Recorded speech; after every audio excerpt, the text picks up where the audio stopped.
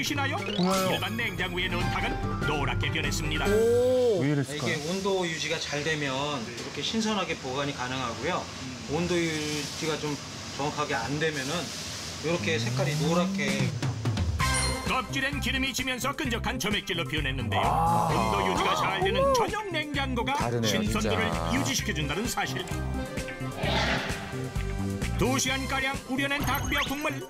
그런데 이번엔 이 닭을 통째로 넣습니다. 그러게요. 여기에다 생닭을 뼈에서 나오는 게 있고 살에서 나오는 그런 좋은 성분들이 있으니까 훨씬 맛이 좋죠. 생닭을 넣고 또 40분을 끓여낸 뒤 잘 익은 닭은 건져줍니다.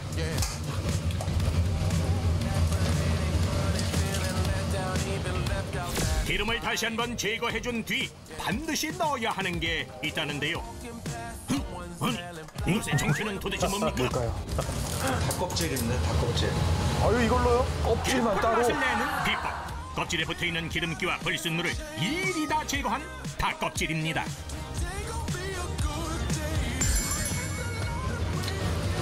야, 저 닭의 모든 부분을 다 쓰네요. 그래요. 뼈, 껍질까지. 뼈에서는 좀 그 진한 맛이 우러나오고요. 그리고 그 닭에서는 육즙의 그 신선한 맛들 있잖아요. 닭맛, 닭 본연의 맛이 나오고 그 다음에 요 껍질에서는 좀 더 풍부한 맛을 내기 위해서 껍질을 사용하고 있습니다. 이거부터 얼마나 된다고요? 2시간 더에 계속 끓이네요. 같은 닭이라도 뼈와 껍질, 살 부위마다 내는 맛이 다 다르다는 건데요. 처음 닭뼈를 한나절 골라내는. 손질 와. 작업부터 기름을 거두어내고 끓여내기를 여러 번 여섯 시간이 지나면서 점점 뽀얗게 우러나 진정한 진국이 돼갑니다. 어, 지금 곰탕 같네.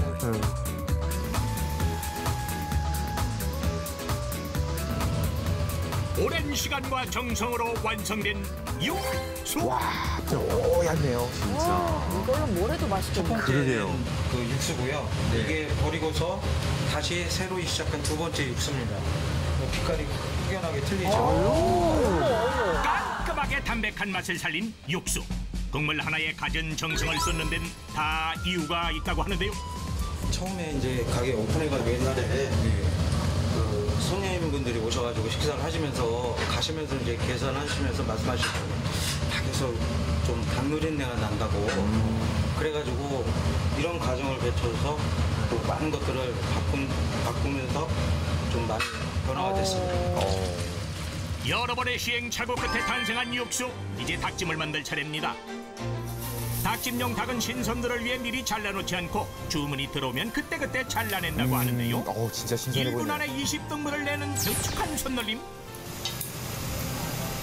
그런데 사용하는 가위가 예사롭지 않죠.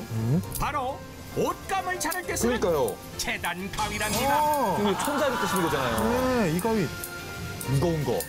처음에 오픈해가지고 일반 가위로 닭을 자르다 보니까 어, 닭이 어, 그 가위가 그 망가지고 막 이렇게 돼가지고 이거를 사용하게 됐습니다.